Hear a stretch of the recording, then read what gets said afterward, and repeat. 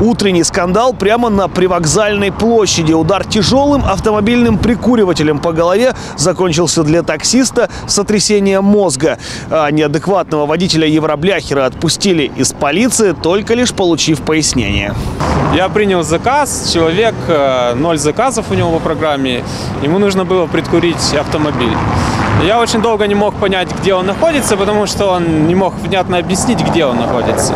Когда я подъехал к нему, он вышел сразу агрессивно, настроенный ко мне, э, начал, ну так себя, неадекватно вести. Я его попросил, ну, видя, что он неадекватный человек, говорю, вы рассчитайтесь, пожалуйста, со мной заранее, потому что что-то у меня возникает сомнение в вашей платежеспособности.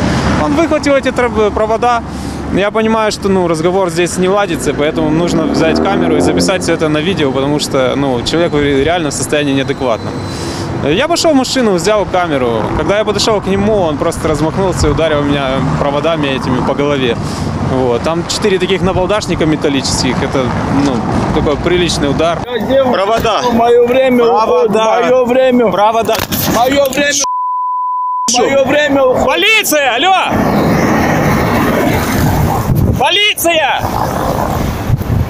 Полиция! Полиция! Только что вот меня только что этот штрих вот сюда проводами был.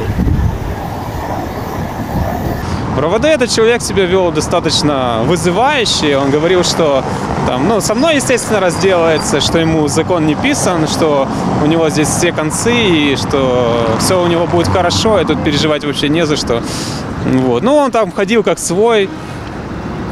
Ну, знаете, такое пренебрежительное отношение, крайняя степень То есть ему взяли пояснение и отпустили его, да? да, да, его просто он написал что-то, он даже не может писать по-русски, потому что он не русской национальности. Писала за него его дама, которая присутствовала рядом. Она написала, что я ее хотел изнасиловать, а он меня защищал. Его просто отпустили и все.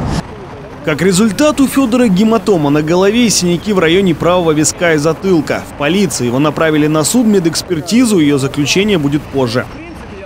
В полиции мне стало плохо, и полиция вызвала скорую помощь. Приехали ребята со скорой помощи, и этот парамедик говорит, что тебе надо в больницу на томограмму мозга. Ну, по пути мне стало плохо, он там сделал мне какие-то уколы, и когда мы уже приехали, там сделали обследование, томограмму головы, головы.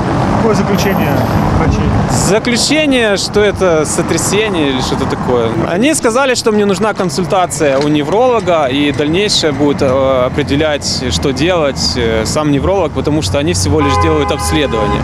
И дали мне заключение, что мне нужно проходить э, эту консультацию невролога. Ну, сегодня я уже туда поеду вечером и буду там дальше разбираться с самим неврологом, что он мне скажет.